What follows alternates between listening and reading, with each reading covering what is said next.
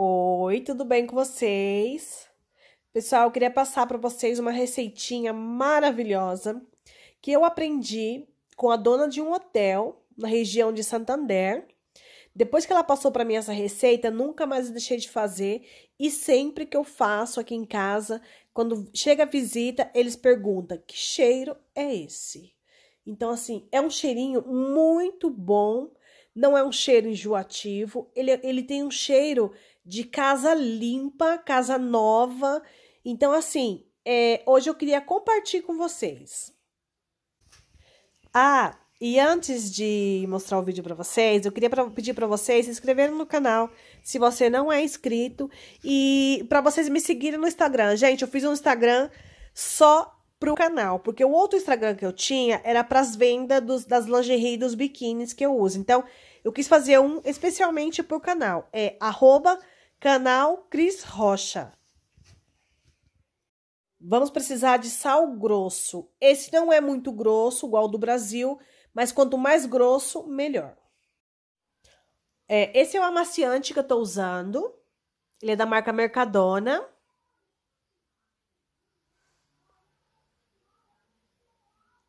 E esse, ele é o óleo, o azeite, né, que eu tô usando. É esse azeite também, ele é da marca Mercadona. Uma colher de álcool.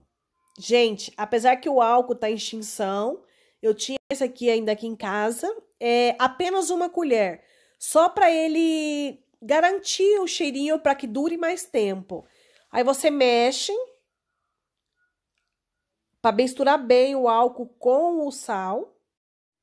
Agora, a gente vai precisar de três colheres de amaciante de roupa. Gente, não importa o aroma, tá? É o aroma que vocês quiserem. O importante mesmo que seja é, a quantidade certa, que são as três colheres. E quanto mais concentrado o amaciante, melhor. Agora a gente só mistura Agora a gente vai usar uma colher desse azeite. É, se vocês tiverem essência em casa, é melhor ainda. Eu, como não tenho, às vezes eu faço com óleo ou com a essência. E agora a gente vai misturar bem. E eu vou colocar nos vasinhos. Aí você coloca onde você quiser. Eu, eu tenho esses dois vasinhos aqui. É, eu vou colocar neles. Olha, já terminei. Eu coloquei esses pauzinhos de bambu. Esses pauzinhos eles vão ajudar o cheiro expandir pela casa. Aí você pode colocar na sala. Olha que bonitinho.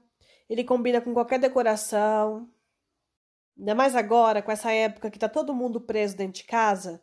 Gente, é, nada melhor que ter um cheirinho gostoso, um cheirinho de ambiente limpo, cheirinho de amor pelo ar. Então, assim, é, ele tem um cheiro muito gostoso. Cada um coloca a sua fragrância, né? Mas assim, aqui em casa, todo mundo que chega pergunta: que cheirinho é esse?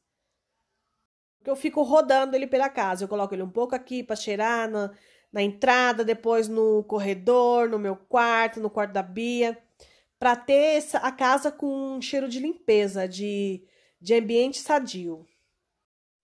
Então, ó, Olha como que ele ficou, fica bonitinho. Você pode decorar ele com mais bambu ou com menos bambu, ou até mesmo para quem não tiver o bambu, pode colocar é, palitinho de churrasco, que também tem o mesmo efeito. Gente, então é isso. Eu espero que vocês tenham gostado. Façam, depois comentem. Um beijo, fiquem com Deus.